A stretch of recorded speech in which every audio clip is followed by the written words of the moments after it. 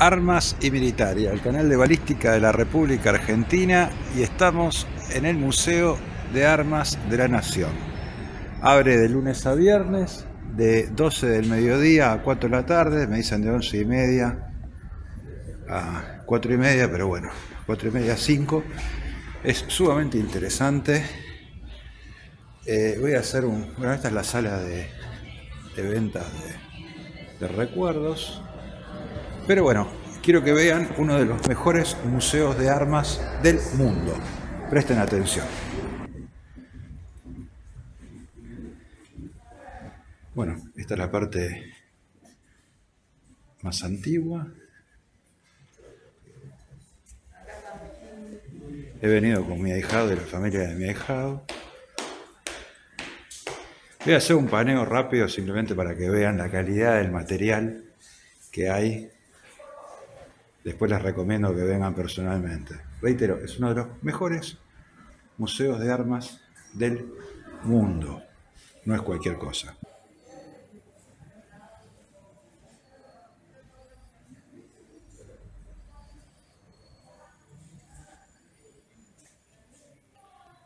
Básicamente estos son todos fusiles a cerrojo militares.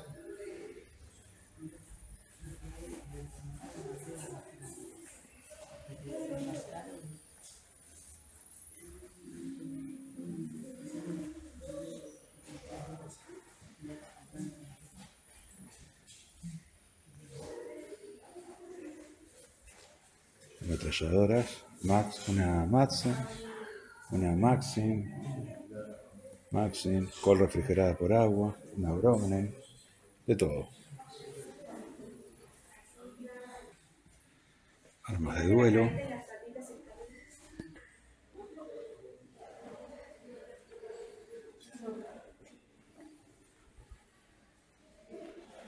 Lanzas, lanzas, alabardas, picas,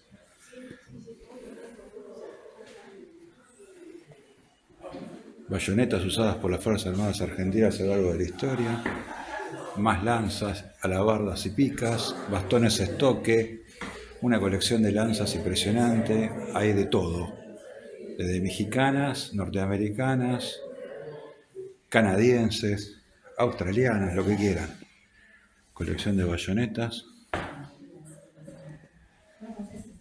Estoy haciendo un paneo así muy rápido nomás como para que vean la calidad del museo y sobre todo si hay gente de otros países que vea la calidad de este museo, que reitero, es uno de los más completos del mundo en cuanto a armamento. Esta es una sala de la, sobre la guerra de Malvinas, muy interesante. Ahí están los baños, pero eso no, no reviste mayor interés.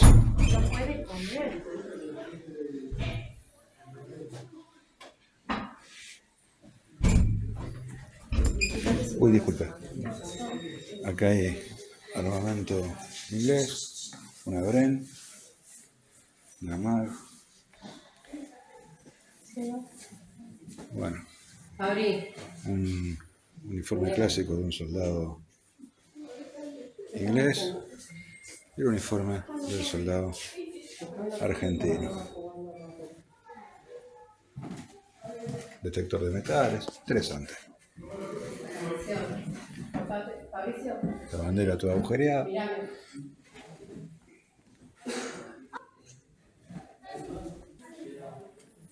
Pase, pase, no hay problema.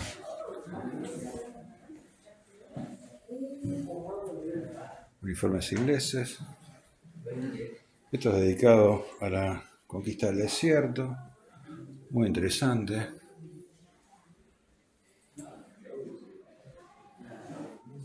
Hay algunos dioramas bastante buenos. Debo reconocer que este museo, esto es original, este museo lo que tiene de interesante es que a diferencia de casi todos los museos argentinos que están muy mal iluminados en general, este está bastante bien. Bueno, miren lo que es esto.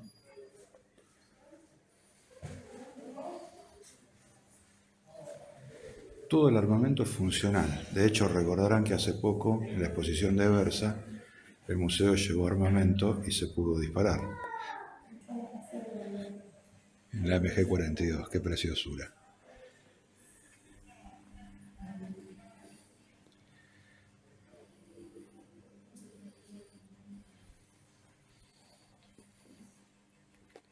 Gatling. Impresionante la calidad del armamento que hay. Impresionante. Un cañón Krupp. Disculpen mi dedo, pero estoy filmando una parte dedicada a fusiles semiautomáticos y de asalto. STG-44, primer asalto de la historia. Una K-47, que este es una KM, me parece, por el rompellama que tiene adelante. M16 de las primeras versiones. Miren, qué preciosura. Un, un FN-49, hay de todo. Armas Halcón de fabricación nacional. Un cañón Krupp de 75 milímetros, impresionante. Este es un cañón de avancarga fabricado en la Argentina en 1814. 1814, cañón de avancarga, construido en la Argentina.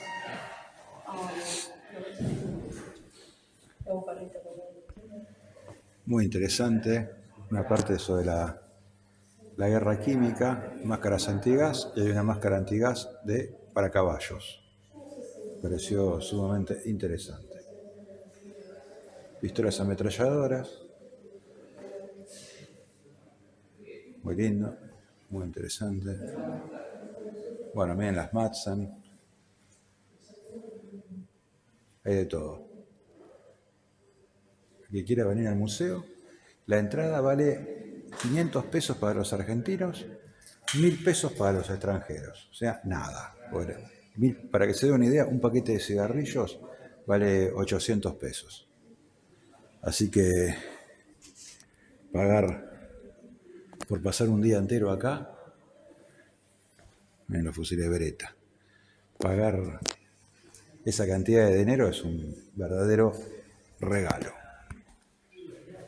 Pistolas, pistolas. Es un paneo rápido nomás. Acá hay un, seguidor del canal. el mejor. Estoy haciendo un video para mostrar en el canal para la gente que no conoce algo rápido del, Museo de Armas. Avancarga, una preciosura.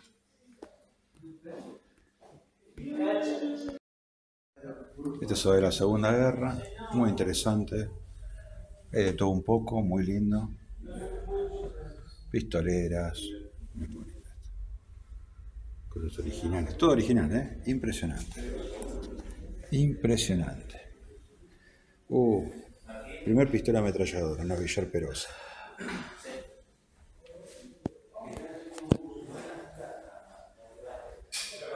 Muy buen museo.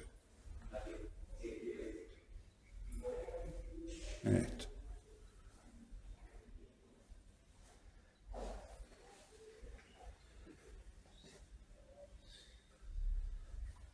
la verdad.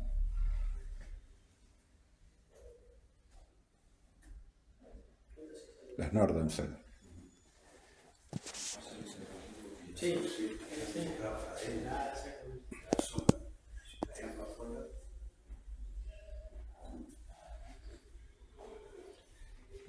lo estoy haciendo un paneo rápido así, después no me puteen ni me insulten, como suelen hacer. Estoy haciendo algo rápido, nada más que para que vean algunas de las colecciones del, museo. Una, una ballesta morina de tiro ahí arriba. Una colección de pistolitas 635. Bueno.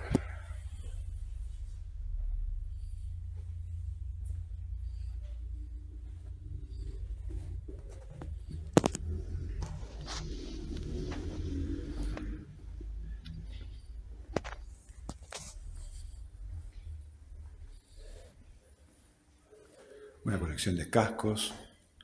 Hay de todos lados, como pueden ver. Más ametralladoras. Mira esas Hotchkiss. Qué preciosura. Ahí. La Hotchkiss. algunas ametralladoras rusas. Uh, mira esta. De 14,5. Un monstruo esa ametralladora. Un RPG. De todo. Esto es un papi. El papi era de fabricación nacional inspirado en el Panzerfaust. Cascos, un telémetro parece.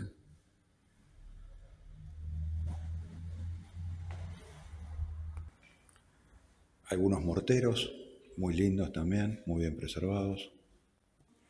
Para los amantes del Japón, naginatas, originales, ¿eh? La naginata es la alabarda, la alabarda de los japoneses. Bueno, esto tiene luz automática. Por eso digo, es un museo, hay armaduras originales, japonesas. A los que les gustan las cosas japonesas, vengan porque van a ver cosas acá que no las van a ver en ningún lado. Ustedes saben que en el Museo Naval, en la localidad de Tigre, hay una granada original del acorazado Yamato. No es algo menor porque es la artillería embarcada más grande de la historia. Por lo menos el acorazado con artillería de mayor calibre de la historia. Esto es original. Dice que es del año 1670. 1670. Ya le digo, los que le gustan, muchas de estas donaciones las hizo el gobierno de Japón después de la guerra ruso-japonesa, en la cual la Argentina, como ustedes saben, cuando Japón tenía embargo de armas, la Argentina le cedió dos acorazados que se basaban a llamar Nishin y Kayuga. Japón quedó muy agradecido por eso. de los tempos, que son los mosquetes de, mecha bancarga japoneses. Ah. Impresionante, ¿eh? Si dice, la armadura es de 1680.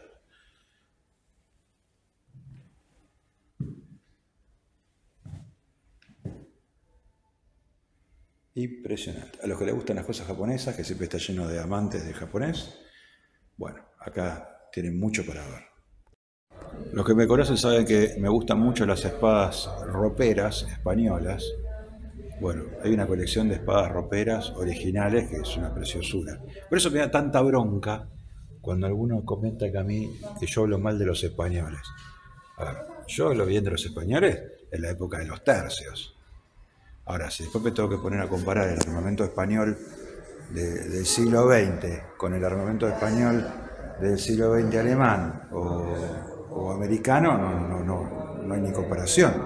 Pero, ¿quién no quisiera tener una espada ropera del Renacimiento? Miren esto.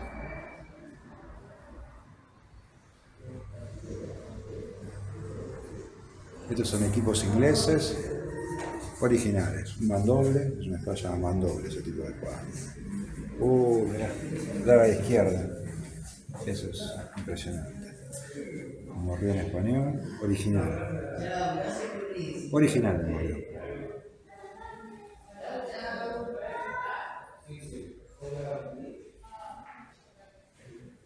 Hay otra ropera, que a mí siempre me gustaron las roperas.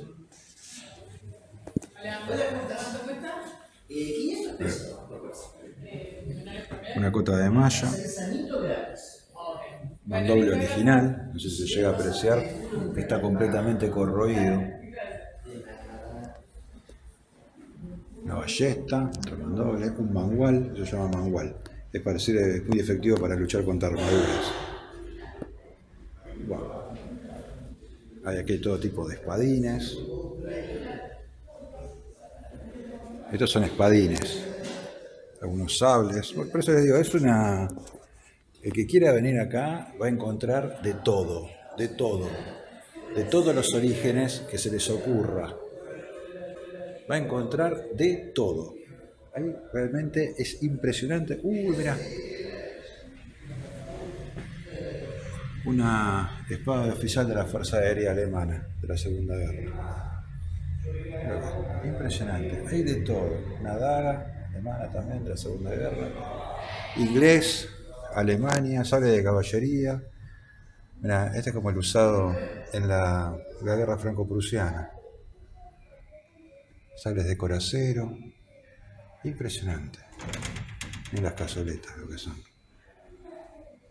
Sale de abordaje, mira, sale de abordaje inglés. Impresionante. Por eso le digo, coraza de la Guardia Real, modelo 1805 original. Esta la donó el gobierno británico.